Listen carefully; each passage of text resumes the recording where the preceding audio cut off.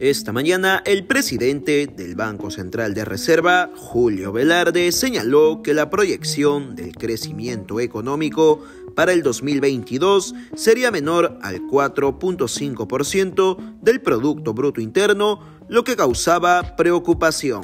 En 2022 sí hay una preocupación mayor. Eh, probablemente la cifra, eh, la cifra que publicamos el viernes, probablemente vamos a mostrar un crecimiento algo menor. Positivo, pero algo menor.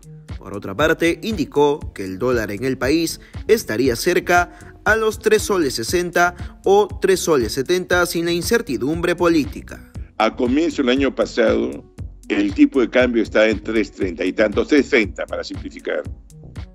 Y el precio de la libra de cobre estaba en 2.60 y tantos dólares la libra.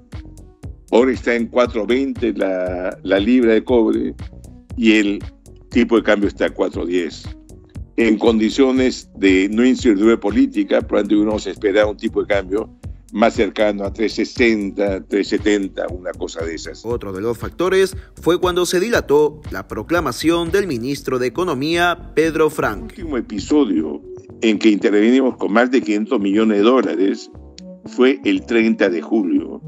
Y el 30 de julio, si ustedes recuerdan qué pasó, fue que el día 29 de julio una juramentación de ministros demoró cerca de tres horas y no juró el ministro de Economía.